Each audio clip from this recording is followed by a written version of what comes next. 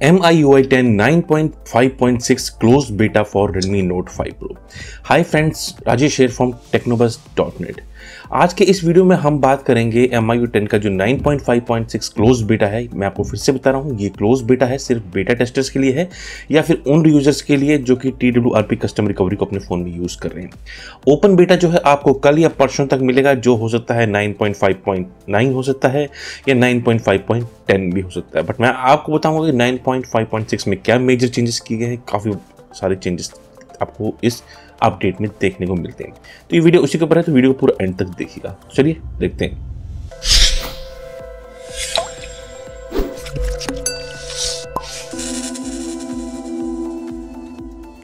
तो जैसे कि देख पा रहे हैं अबाउट फ़ोन सेक्शन में आप देख पा रहे हैं कि device model Redmi Note 5 Pro, Android version 9 यानी जो कि पाई के ऊपर रहा है। आपको जो एंड्रॉइड सिक्योरिटी पैच मिलता है, वो फिफ्थ ऑफ़ अप्रैल 2019 का मिलता है और जो एम आई वर्जन है, वो है M I U I ten nine point five point six beta version ये अभी पब्लिक बीटा नहीं है, ये क्लोज बीटा है। अगर आपको इसको इंस्टॉल करना है तो आप custom T W R P recovery से इसको इंस्टॉल कर सकते हैं। इसके अंदर कुछ मेजर चेंजेस किए गए हैं, जो कि आपको आने वाले दो दिन के अंदर जो अपडेट आएगा, उसके अंदर वो चेंजेस आपको देखने को मिल सकते हैं। तो वही सारे चेंजेस जो है, आज मैं आपको इस वीडियो में के अंदर बताने वाला हूँ। सबसे पहला जो मेजर चेंज जो इन्होंने अंदर किया है कि जब भी आप अपने होम स्क्रीन के ऊपर टैप करते थे तो आपको कुछ ऐसे ऑप्शन देखने को मिलते थे wallpaper widgets and setting but अब आपको कुछ नए ऑप्शन भी ऊपर देखने को मिल रहे हैं। जैसे कि आप देख पा रहे हैं, तीन नए ऑप्शन आपको ऊपर देखने को मिल रहे हैं, जो कि है ग्रुप अनइंस्टॉल और डन अब आप किसी भी एप्लीकेशन को सिलेक्ट करेंगे, उसके बाद जो है आप ग्रुप करना चाहते हैं तो ग्रुप कर सकते हैं, उसको अनइंस्टॉल करना चाहते हैं तो आप अनइंस्टॉल पर टैप करेंगे और उसको डायरेक्टली यहाँ से इजिली अनइंस्टॉल या ग्रुप कर सकते हैं अब आप इन सब चीज़ों को। तो ये एक जो है, इसके अंदर एक इन्होंने नया फीचर जो है, आपको देखने को मिला है। सेकंड चीज़ क्या है कि अब जो है ऐप लॉक के अंदर जो है फिंगरप्रिंट और फेस अनलॉक एक साथ अब काम कर रहे हैं। मैं आपको दिखा देता हूँ ऐप लॉक के अंदर। आप ऐप लॉक के अंदर जाते हैं और उसको अनलॉक करते हैं। तो आपको जो दो ऑप्शन मिलते हैं इसके अंदर मैं आपको दिखा देता हूँ, ये देखिए फेस अनलॉक और अनलॉक भी फिंगरप्रिंट अब जो है, दोनों जो है, एक साथ काम कर रहे हैं परफेक्टली पहले क्या होता था, आपको टैप करना पड़ता था इसको यूज़ करने के लिए तो अब नहीं, अब ये जो है परफेक्टली एक साथ काम कर रहे हैं। तो ये भी आपको एक नया ऑप्शन देखने को रहा है। और काफ़ी सारे लोगों की जो शिकायत थी कि जो बैटरी का जो इशू आ रहा था लास्ट के बिल्ड में, वो काफ़ी प्रॉब्लम क्रिएट कर रहा था कि बैटरी बहुत जल्दी जो थे फ़ोन की ड्रेन हो जा रही थी। बट अब ऐसा नहीं हो रहा है। बैटरी बैकअप जो है पहले से बेटर हुआ है और परफॉर्मेंस भी काफ़ी पहले से बेटर हुई है। लास्ट के जो बीटा वर्जन से, उनसे काफ़ी अच्छी परफॉर्मेंस है अब तक के इस बीटा वर्जन की, जो कि है 9.5.6 तो ये तो है कुछ चेंजेस आपको इसके अंदर देखने को मिले। और साथ ही साथ जो है, अब आपको लॉक स्क्रीन के अंदर जो है, जो आपकी क्लॉक है, वो आपको कुछ अलग तरीके से देखने को मिल जाती है, जिसको आप इस तरीके से सेटअप कर सकते हैं, जो कि मोस्टली आप सैमसंग के फ़ोन्स के अंदर देखते हैं। तो ये फीचर मैं आपको दिखा देता हूँ, कहाँ पे एक्टिवेट मिलेगा आपको। आप सेटिंग्स में जाएँगे सेटिंग्स में जाके आपके लॉक स्क्रीन एंड जो पासवर्ड का ऑप्शन है, उसमें जाइए। उसमें सबसे नीचे ऑप्शन आपको देखने को मिलता है एडवांस सेटिंग एडवांस सेटिंग्स पे आप जैसे ही टैप करेंगे, आपको सेकंड नंबर पे एक ऑप्शन देखने को मिलता है लॉक स्क्रीन क्लॉक forward आप इसके ऊपर जैसे ही टैप करेंगे, आपको तीन तरीके की जो है लॉक स्क्रीन की जो डेट्स हैं यानी जो टॉप डेट्स हैं और क्लॉक है, वो देखने को मिलती है। एक सेंटेड जो कि पहले ही ऑलरेडी होती थी, एक लेफ़्ट अलाइन और एक वर्टिकल आप जिसको यूज़ करना चाहें, उसको यहाँ से सिलेक्ट करके अपने फ़ोन के अंदर यूज़ कर सकते हैं। जैसे कि हमने जो है सैमसंग स्टाइल की जो वर्टिकल है, उसको यूज़ किया है और उसको हम यहाँ पे यूज़ करें बट इसके अंदर एक छोटा सा बग देखने को मिल रहा है। सपोज़ कीजिए आपको कोई भी नोटिफिकेशन आता है, कुछ भी चीज़ आती है तो ये जो क्लॉक है ऑटोमेटिकली जो है चेंज हो जाती है। मैं आपको दिखाता हूँ किस तरीके से। जैसे सपोज़ कीजिए कि आपको नोटिफिकेशन आ रखा है फ़ोन के ऊपर कि आपका फ़ोन चार्ज हो रहा है या कुछ भी, मैं आपको दिखाता हूँ। ये देखिए। अब जो ये क्लॉक जो है ऑटोमेटिकली जो है चेंज हो जाती है। ये देखिए, कुछ आपको इस तरीके का लुक आपको इसके अंदर देखने को मिलता है। जैसे ही नोटिफिकेशन पैनल जो इनेबल होगा, ये क्लॉक चेंज हो जाएगी। ये देखिए, मैं निकाल देता हूँ, वापस जो है, जो क्लॉक जो है वापस उस मोड पे आ जाती है। तो ये एक छोटा सा बग जो है आपको इसके अंदर देखने को मिलता है।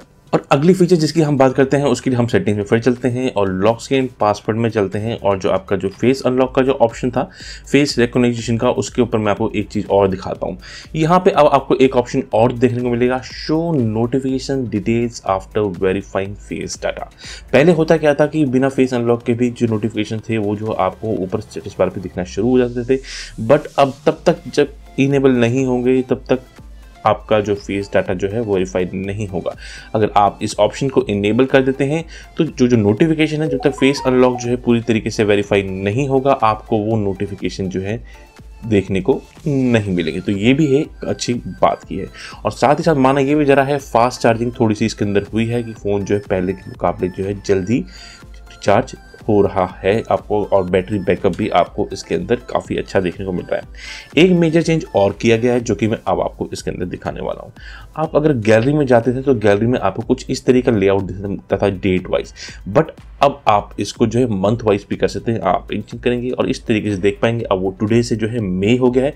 इस तरीके से आपके जो पूरे मंथली वाइज जो है आपको सारे के सारे जो गैलरीज हैं, आपको यहाँ पे देखने को मिलेंगी पेंच आउट करेंगे तो वापस आप जो है डे वाइज आ जाएँगे, जैसे टुडे यस्टरडे जो भी उस तरीके से। तो ये भी एक नई चीज़ जो है आपको इसके अंदर देखने को मिलती है।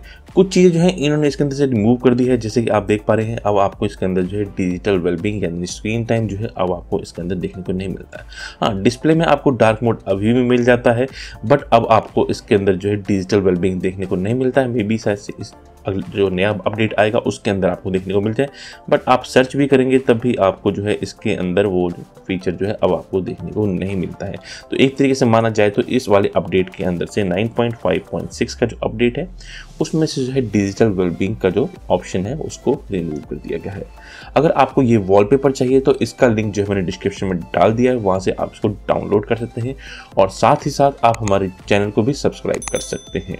जो रेड कलर का बटन है, उसको सब्सक्राइब ज़रूर कर लीजिएगा और बेल के नोटिफिकेशन को प्रेस करना मत भूलेगा तो ये तो हो गए कुछ चेंजेस और कुछ चीज़ें और भी चेंज की गई हैं, जो मैं आपको और दिखाता हूँ थीम्स में अगर आप जाते हैं और अपने यूज़र अकाउंट पर आप जाएँगे तो आपको अब जो है कस्टमाइज थीम के अंदर जो है बूट एनिमेशन और बूट ऑडियो का भी ऑप्शन देखने को मिल जाता है, जो कि परफेक्टली काम कर रहा है। कई बार जो था, इसके अंदर छोटे मोटे बग्स देखने को मिलते थे बट इस टाइम पे ये जो है परफेक्टली काम कर रहा है। तो मैं आपको फिर से बता देता हूँ क्या क्या जो मेजर चेंजेस आपको देखने को मिले। एक तो आपकी जो क्लॉक है लॉक स्क्रीन की, उसको चेंज किया है। Finally app lock and fingerprint जो है टुगेदर काम करते हैं। जो आपके जो विजिट्स वगैरह सेक्शन होता था, उसको यहाँ से थोड़ा सा मॉडिफाई किया गया है, ताकि आप जो है जल्दी से अपने जो आइकन्स हैं, उनको ग्रुप कर सकें या फिर उनको आप डायरेक्टली यहाँ से इंस्टॉल कर सकें। और फेस लॉक का जो अन नोटिफिकेशन है, उसके अंदर ये चेंज किया गया है कि आप नोटिफिकेशन तभी देख पाएँगे जब तक फेस अनलॉक जो है पूरी तरीके से आपके फेस को वेरीफाई नहीं करता है और बैटरी में काफ़ी इंप्रूवमेंट आपको देखने को मिलती है। तो अगर आप इस अपडेट को करना चाहते हैं तो लिंक मैंने डिस्क्रिप्शन में डाल दिया है। आप उसको कस्टम रिकवरी से डाउनलोड करके अपने फ़ोन के अंदर इंस्टॉल कर सकते हैं। तो बस ये छोटा सा वीडियो इसी के ऊपर था कि 9.5.6 का जो अपडेट था, उसके अंदर ये कुछ नए मेजर चेंजेस आपको देखने को मिले हैं और आपको जो नया अपडेट आने वाला है 9.5.9 या 9.5.10 उसके अंदर भी आपको कुछ इससे ज़्यादा भी आपको चेंजेस देखने को मिल सकते हैं। तो इस वीडियो को यहीं बंद करते हैं। तो जाते जाते लाइक कमेंट शेयर करना मत भूलिएगा। मिलते हैं नेक्स्ट वीडियो में। तब तक के लिए टेक केयर एंड बाय